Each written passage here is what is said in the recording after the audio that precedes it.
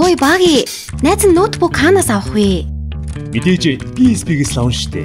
Угаасаа хамгийн өргөн сонголттой үнэн ч хэм нэрээ ноутбук авах үнэн дүнгээс хамаарат гар утас. Эсвэл таблет бэлгэлж байгаа мэлэн штэ.